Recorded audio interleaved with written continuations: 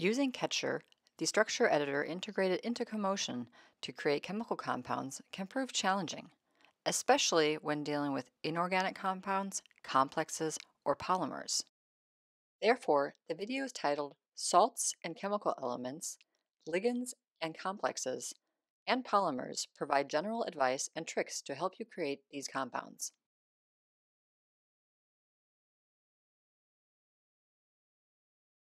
In this video, you will learn about practical hotkeys which facilitate the drawing and creation of chemical compounds in Ketcher. As an example, we will create the molecule ethane.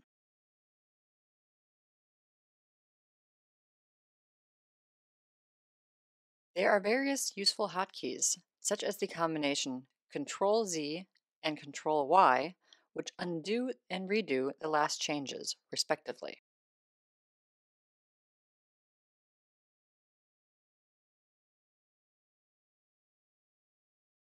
The commands plus and minus zoom in and out of the editing window. They also center the drawing automatically. Please note that it is essential to only press plus or minus. In contrast, Control plus or Control minus adjust the entire screen display instead of just the editing window. The Escape key deselects the parts of the structure that have previously been marked as selected. The Delete key removes selected objects from the structure.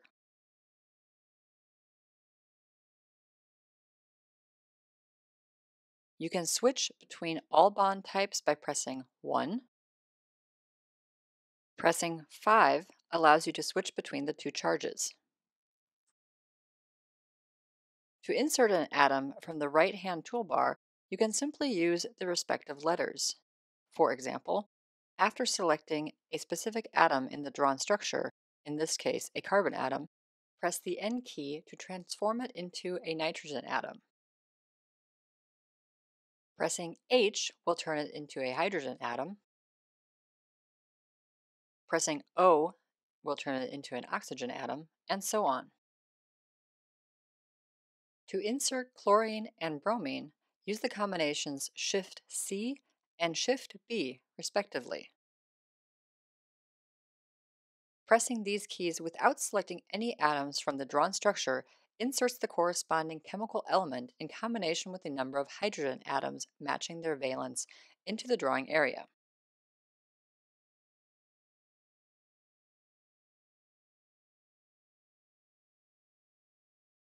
Switch the choice of standard aromatic compounds and cycloalkanes by pressing T. To apply the cleanup function to the entire drawing area, press Ctrl L.